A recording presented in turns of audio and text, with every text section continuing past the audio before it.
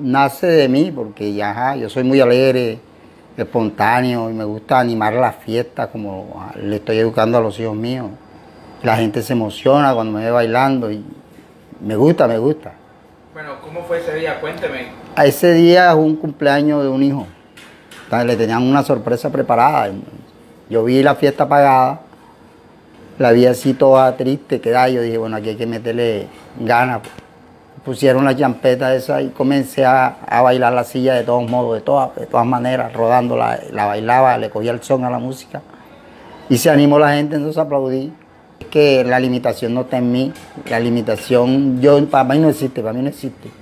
Porque soy muy dependiente en todo. Y, y le digo a las demás personas que la, la limitación no está ahí si no estás en la mente. Lo que uno crea, lo que es uno.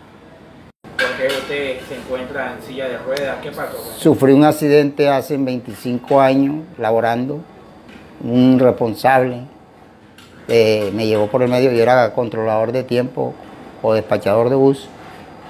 Entre los dos me hicieron una, lo que dicen, un envuelto. Me dejó tirado ahí, se fue y quedé ahí. Enseguida quedé parapléjico. Su vida cambió luego de eso, pero sin embargo usted ha sido una persona muy alegre y que ha sido echada para adelante. Cuénteme cómo ha sido eh, esa situación para usted. Eh, ha sido dura y además la he sabido sobrellevar, pero los primeros meses sí me dio duro. pues. Yo pensaba era en la niña, mi esposa y mi mamá. Y además que tenía los niños pequeños. Yo dije, yo no me puedo quedar aquí. Yo hacía terapias en el 84. Tuve que suspenderla porque yo digo, si me dedico a las terapias, los pelados se van a quedar. Y porque a mí me gusta siempre depender de mí mismo, no estar dependiendo de otro. Y comencé, los pelados comenzaron, la niña mía tenía un mes de nacida, los otros dos, uno tenía cinco, el otro tenía siete años, y mi esposa desconectada con cesárea. Entonces yo dije, no, yo no me puedo quedar aquí con esta situación, porque antes a mí me, no me iba mal, ni me iba bien, pero sí me iba regular. Sacaba el sustento diario, que no era lo mismo, entonces yo ya veía la situación apretada, apretada, y salí rumbo, yo digo, yo, yo me siento en la silla, salí a hacer algo. Yo vendí agua, vendí pescado, vendí dulce, vendí mantequilla, queso. Además hacía eventos de mi cuenta, hacía eventos baile en la cuadra y todo el mundo llegaba. Y de ahí en adelante seguí, yo dije, no, esto hay que ponerles ganas, los pelados tienen que salir adelante, saqué a los hijos míos, a los dos mayores, que uno es profesional, el otro está terminando en ventas ahora.